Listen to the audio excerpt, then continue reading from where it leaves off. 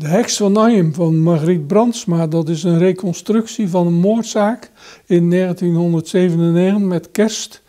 Daar is uh, in een pension in Ayem werd een, een lijk gevonden.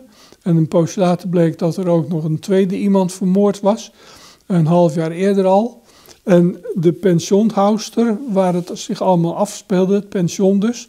Uh, de pensionhouster, dat was de grote verdachte een vrouw van een jaar of vijftig, iets ouder, uh, een vrij tengere vrouw. En die zou dus twee grote, stevige kerels, die jonger waren dan zij, om het leven hebben gebracht. Ze is veroordeeld en ze heeft een tijd lang uh, in de gevangenis gezeten.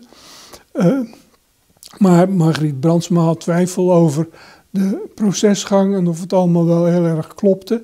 En die heeft het allemaal uitgezocht. Margriet Brandsma kennen we natuurlijk nog van een televisiecorrespondent uh, in Duitsland, uh, altijd. En, uh, zij heeft er echt een fascinerend boek over geschreven. Ik vond het wel een beetje ingewikkeld met veel personen en ook is het niet goed duidelijk hoe dat allemaal in elkaar steekt. Wel heeft ze het allemaal heel goed opgeschreven, maar ik ja, het verhaal is op zichzelf zo ingewikkeld. En het is duidelijk dat Margriet Brandsma de insteek in het begin van haar is geweest. Ze heeft het vast niet gedaan. Maar daar is ze aan gaan twijfelen. Dus als je het boek uit hebt, dan lees je dat ze het ook niet weet. En jij als lezer weet het ook niet. Je komt er ook niet achter. Heeft ze het nou gedaan? Heeft ze het nou niet gedaan?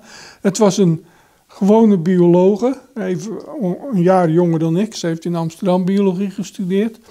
Uh, nou, biologen die, die plegen geen moorden, dus wat dat betreft uh, is het onwaarschijnlijk dat ze het gedaan heeft. Maar ja, hoe het, in elkaar steekt, dat weet je na lezing van dit voortreffelijke boek nog niet. Dat is natuurlijk wel jammer, maar ja, daar, zo zit het leven nou eenmaal in elkaar.